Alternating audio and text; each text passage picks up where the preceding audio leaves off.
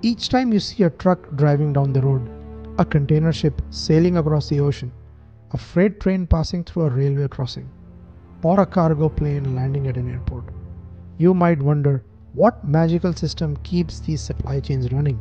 The answer is the ERP or Enterprise Resource Planning. My name is Jameel Hye and I'm your supply chain coach with more than 20 years of experience across South Asia, Middle East and North America. And since I made the video on the top 5 supply chain systems where I briefly covered the ERP, I've been getting a lot of questions about how does the ERP work? How it's connected to the supply chain? What are the different modules? Who are the key players?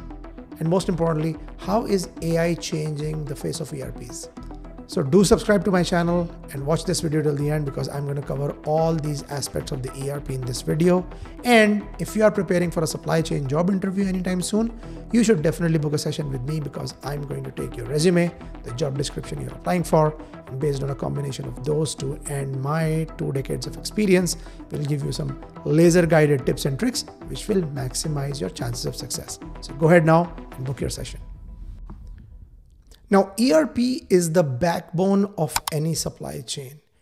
The fundamental function of the ERP is financial management. However, that financial management cannot happen without a core integration with all the supply chain systems.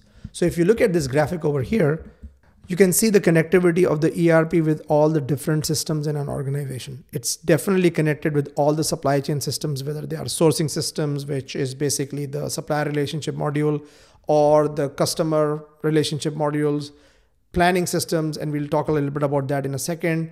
It's also connected to systems other than supply chain systems like human resource management systems or asset management systems uh, and contract and project management systems because all the transactions which are happening in any organization must be processed and routed through the ERP for a seamless flow of information. And talking about information, Let's look at this graphic as we go a little bit deeper into the connection between the ERP and supply chain. Now, if you think about supply chain, there are basically three types of flows happening in any supply chain between the supplier and the customer. So these three flows are product flow, which is flowing from the supplier to the customer, the information flow, which is flowing both ways because suppliers and customers are talking to each other, and cash flow, which typically would flow from customer to the supplier. And the ERP is sitting at the center of all these flows.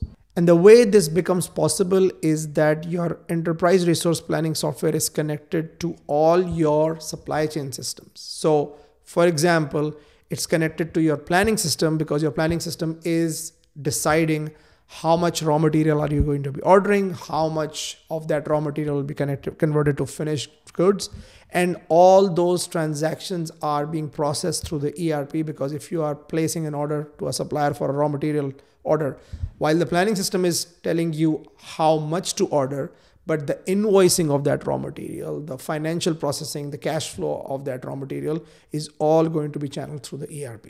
Similarly, it's also connected to your warehouse management system because let's say you are shipping a truck to your customer once that truck is shipped and that transaction is recorded by the WMS that this quantity has gone and the inventory is deducted, all of those inventory adjustments needs, need to be passed on to the ERP so that there is no issue between the WMS data accuracy and the ERP data accuracy. Because at the end of the day, the single source of truth for financial information is the ERP. So if you ship, let's say, five boxes less or 10 boxes more, that overage or shortage has to be reported through the ERP so that the right financial accounting can take place. Similarly, it's also connected to your order management system because while the order management system is controlling your magnitude of the order, the quantity specifically, and all of those kind of things, but once that order is placed, the ERP needs to know which customer it's going to because there are different price points for different customers. You might be selling the same product at different prices to different customers, and that information about pricing sits in the ERP. And then on the same vein, transportation management system is also connected to the ERP because all your carrier information about your freight, all the needs to be passed on to the ERP as well. Now, talking about the key players in this space of ERPs, the biggest name is SAP. Uh, by far, it's a German uh, software company. It's primarily known for its ERP solution. But then there are other players as well, like Oracle NetSuite, there's Microsoft Dynamics, there's Infor. Uh, and all of them have uh, different uh, specialities. So, for example, if we look at S4 HANA or SAP, uh, they are the market leader for manufacturing uh, and large enterprises. The bigger the company, the more likely it's going to be using SAP. Uh, and it's known for its comprehensive functionality and scalability. Oracle NetSuite is more popular among mid-sized and global companies offering cloud-native uh, architecture and financial management. Uh, Microsoft Dynamics is more popular with mid-sized, maybe small-sized companies as well. The beauty of Microsoft Dynamics is that because it's a Microsoft product, it's very well connected to the Microsoft suite. Uh, so it has great integration with Office. Uh, and that makes it uh, relatively an easier to use uh, ERP system. Then there are some other players as well, for example, Infor, um, Cloud Suite. Uh, they are known for their strong presence in the industrial sectors with specialized uh, industry specific solutions and deep manufacturing expertise. You've got Epicor, which is gaining ground in specific industries with focused capabilities and modern user experience. Now, if we talk about the core modules of an ERP, and let's take the example of SAP, Dynamics, and Infor Cloud Suite, and you can see this on the screen over here. Um, the core modules are these four. Uh, every ERP will have more than this to offer. There are a lot of different modules that different uh, software offer. However, without some of these core modules, an ERP is not an ERP. So, for example, financial management has to be a core capability of an ERP system because without financial management, like I said earlier, the basic fundamental function of an ERP is financial management of the organization. And that is why most of the time, whenever you will see that there is an ERP implementation happening, nine out of 10 times the finance team will be leading that implementation. It's not the supply chain. Yeah supply chain will be supporting of course. They will be playing a very integral role in the implementation itself. But the ownership lies with finance because at the end of the day finance is the custodian of all the governance and transactional uh, financial transactional data. So for example if we look at uh, sap s4 hana they have got uh, something called the fi module for financial accounting uh, the co module for controlling the tr module for treasury. Uh, similarly microsoft dynamics has got their dynamics finance uh, and business central uh, module for the financial management piece and then you've got Infor Cloud Suite which has got the general ledger accounts payable accounts receivable. So they might be calling these by different names but fundamentally this whole covers the financial aspect.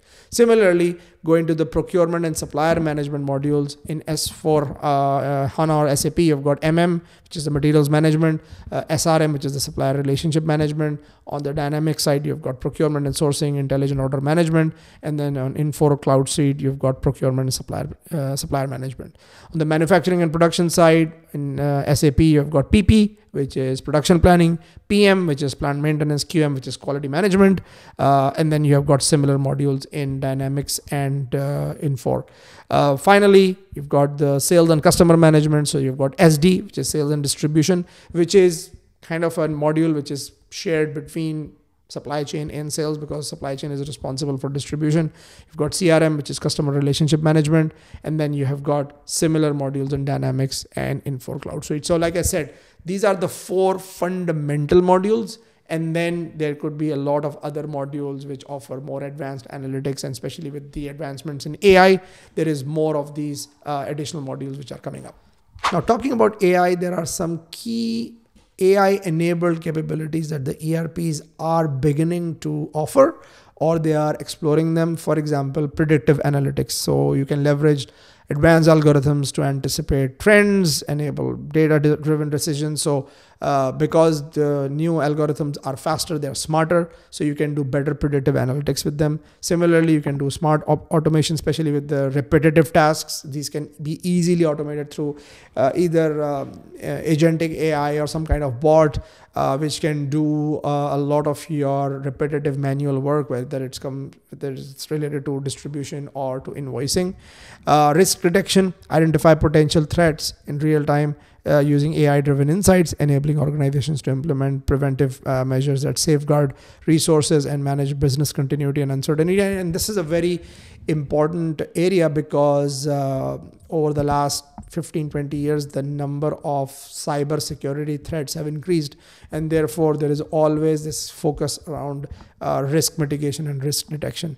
Uh, and then finally natural language queries. So uh, basically uh, the erps are offering easier solutions for the system to be worked with. So instead of being able to know exactly all the specific steps and which window to go on to do which kind of transaction you can now use generative ai to find out okay i want to do x y or z. And then some of these tools will basically give you a better step by step instruction versus uh, the good old days where uh, you are expected to know and get a very detailed training on every single step on how to perform a transaction. So, definitely, AI is helping with the faster onboarding for new joiners or people who are also uh, trying to upskill themselves uh, to get more comfortable with these ERP solutions. So I hope you enjoyed this video. I've also made videos on topics like the SAP supply chain modules and the top five supply chain planning systems, which you can watch by clicking over here. Keep watching.